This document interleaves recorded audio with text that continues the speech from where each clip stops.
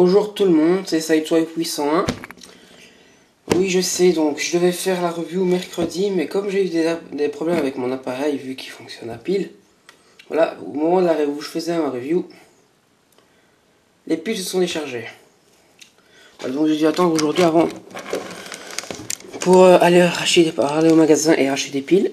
Voilà, donc je vous fais la review d'Iron Voilà.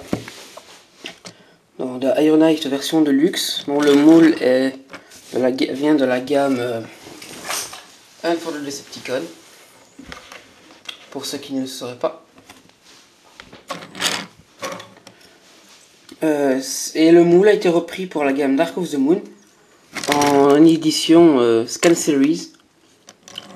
Comme vous pouvez le voir. On a l'impression, ben, enfin, ils ont fait, ben, Hasbro a refait le l'Iron en plastique transparent, enfin pas entièrement, pour, avec euh, teinte de bleu, la ligne ici en blanc, et aussi ici en plastique transparent, euh, voilà, sans couleur, pour euh, faire le moment où Ironhide scanne son mode véhicule. J'ai fait un petit, un petit custom donner l'impression bah, que la, pâture, bah, la, la la carrosserie apparaît. voilà. Peut-être que je le, recustomiserai entièrement pour euh, qu'il soit fidèle à ce qu'on voit à l'écran. Niveau euh, pâture, hein. niveau pâture, pour peu qu'il soit transparent, peut-être que je ferai ça. Euh, aussi, donc, Airlight qui revient en pick-up top kick de, de, GMC, donc General Motors, si je ne me trompe pas. On a la marque qui est mise ici, sur la calandre. On a le treuil. On a ici marqué sur le pare-choc, que ne peut pas bien voir, Rodar mort.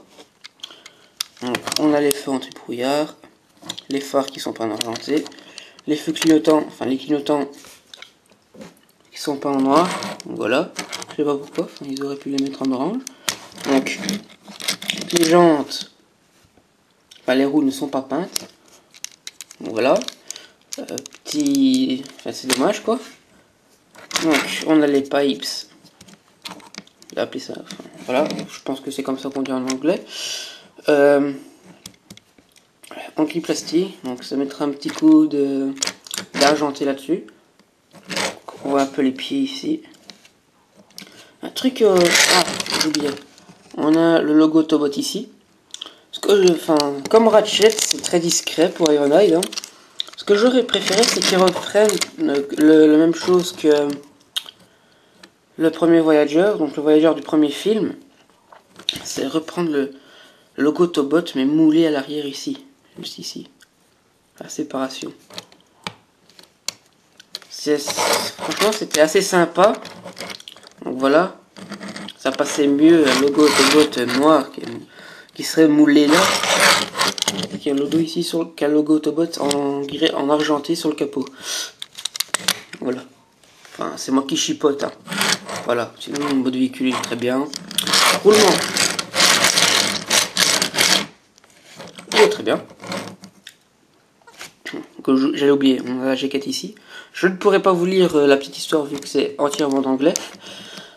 je me connais, je m'y connais un peu en anglais, mais une définition entière d'un personnage, j'aurais un peu de mal. J'ai déjà essayé, quand j'ai reçu le, l'Iron voilà, euh, par ma copine pour un cadeau d'anniversaire. Donc j'essaie de, de traduire, ben, sans succès. Voilà. Un peu comme Ratchet, quoi. Donc, euh, ah, Undercarriage. Pardon. Undercarriage. Donc voilà, on voit les pieds, les cuisses, le bassin, l'intérieur du torse. Donc voilà quoi. Ça peut corail. Le pro défaut, ben, c'est les pieds ici. Enfin, c'est qu'on voit un peu en dessous du véhicule. On, va, quand on le regarde de côté. Donc, ah oui, donc vous allez vous demander, mais où est le drone qu'on avait avec? Voilà sur la jaquette. Ici. Mais voilà, il n'est pas sur mode véhicule, comme il devrait être. Je vais vous dire pourquoi. Parce qu'en fait, Hasbro, pour pas toujours tout le temps détacher le drone et le remettre, clipser ici à l'arrière, bien ils ont fait une astuce que je vais vous montrer pendant la transformation, c'est qu'on peut euh, garder le, drone sur le bras pendant la transformation. C'est astucieux, donc euh, je vais vous montrer pendant la transformation qui va se faire tout de suite. Donc, tout d'abord, on clique d'éclipse. Euh, voilà, voilà. On sépare les petites papates. Ainsi. Les pipes. on va ramener ça ainsi. On a euh, les trous, deux trous ici. Enfin, on a un trou là. Et un trou ici. Qui vont en fait euh, permettre aux pipes de, de rentrer enfin de, rentrer dedans pour pas qu'ils gênent. voilà, hop, comme ça les pipes sont déjà mis, euh, ne gêneront plus, ne gêneront pas. Voilà, pour le mode robot. Donc, puis donc, euh, ah oui, donc on va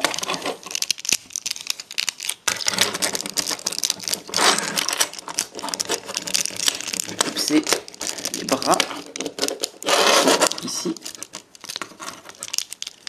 Enfin ça c'est les pans. Hein. Donc les pans sont, enfin les panneaux sont assez durs, assez gênants pour la transformation. Attendez, celui-là il résiste. Voilà, mais il résistera, pas longtemps. Donc on a les bras, voilà. Donc on tire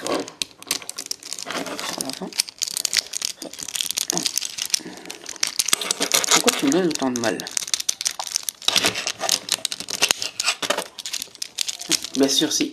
Donc, voilà, bête comme je suis, j'ai oublié de pivoter vers l'avant. Voilà. Comme ça.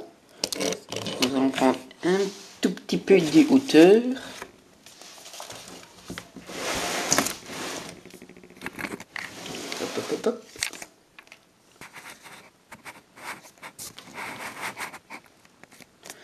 Voilà, voilà.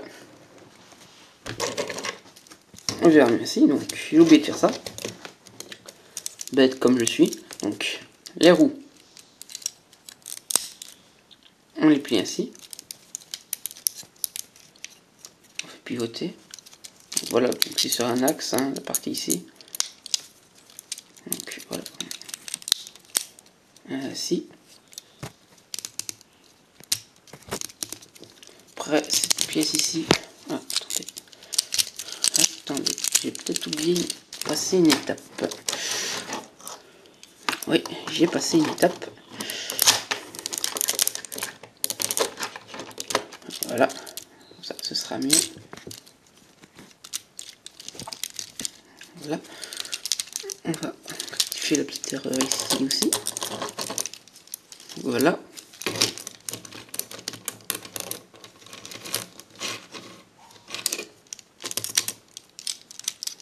Voilà, donc ça permet euh, de stabiliser euh, la pièce euh, du pare-choc arrière. ici, la pièce derrière les pieds. Voilà, ça permet de le bloquer. Voilà. Donc, comme je faisais, donc, on tire c'est parti ici pour révéler la pièce du torse. On va abaisser. Donc, les pans ici qui nous gênaient, on va les clipser ainsi dans le voilà, on va clipser entre eux et les mettre dans le dos. On va, donc le pare-brise, on va le descendre ainsi. Voilà. Ce qui va nous faire apparaître la, petite bobine de vainqueur de notre cher Ironeye. Donc voilà, je vais recommencer. Voilà.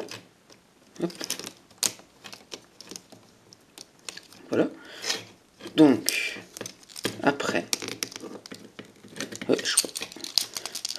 ça.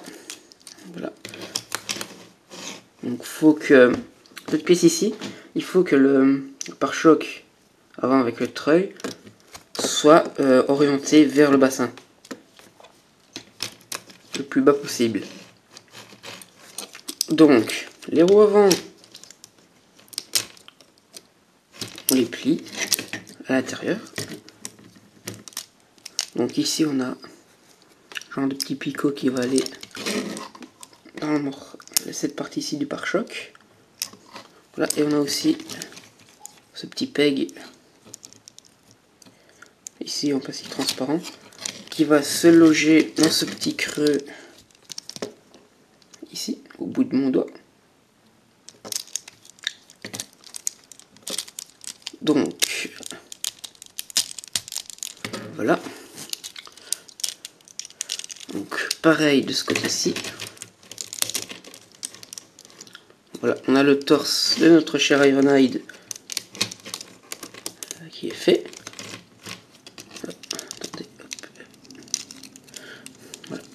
pas c'est pas nous là. Ainsi. Voilà, donc on oriente les bras ainsi. attendez, c'est éclipsé.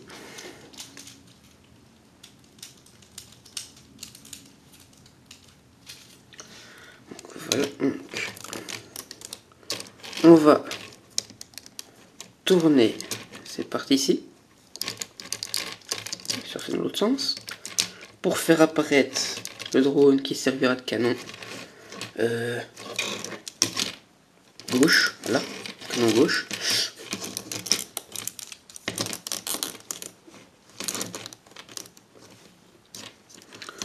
Par ici pour le canon droit. Voilà, on a Ironite transformé. Donc, je vais vous montrer, pour ceux qui n'ont pas découvert ce petit astuce pour garder le drone en mode robe, enfin sur le bras quand on le transforme en autre véhicule. C'est ça en fait. En fait le canon ici, ben, on regarde, ben, on a un petit petite charnière, enfin un petit pivot, enfin charnière, je me, trompe tout le temps. Voilà, et on ouvre. Et en fait, on a un creux. Et en fait, ça, va, ça épouse la forme du drone qui est ici. Comme ça, euh, en ouvrant ça, le canon ici, on peut euh, mettre cette partie ici du drone dedans. Et comme ça, euh, on n'est pas obligé de l'enlever pour le transformer, pour transformer notre cher Ironhide en mode véhicule. Donc, notre petit bourrin de service voilà, donc, notre robot. Voilà, on voit bien qu'il est assez trapu, vu qu'il est assez euh, balèze, je veux dire ainsi, assez... Euh, euh, comment dire Enfin, oui, assez balèze, hein, voilà. Je trouve, trouve pas d'autres mots. Voilà, donc... on voit bien qu'il faut pas l'embêter. Sinon, préparez-vous à vous prendre un coup de canon dans la, gueule. Ouais, franchement, bah voilà. Donc je regrettais de ne pas l'avoir trouvé donc en version euh, donc quand il est sorti, le, moule est sorti en dans la gamme Hunt for Decepticon. Voilà, ma copine euh, m'a payé ces versions aussi pour mon anniversaire que je la remercie vraiment. Voilà, j'étais vraiment content. Voilà donc. Voilà donc voilà un TF dont je me séparerai jamais vu que voilà il venait d'une personne d'une personne très chère à mes yeux. Voilà.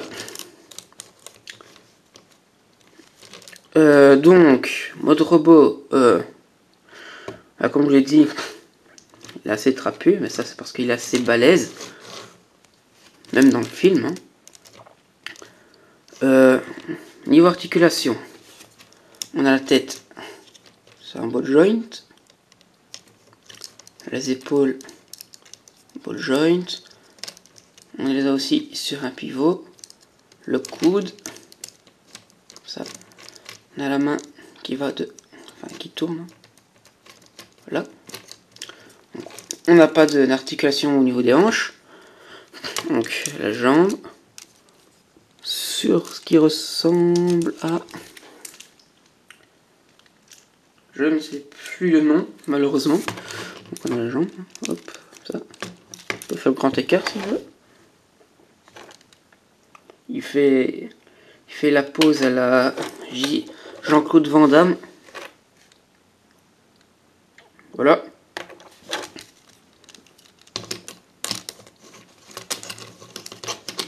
Donc, euh, j'en étais où Ah oui.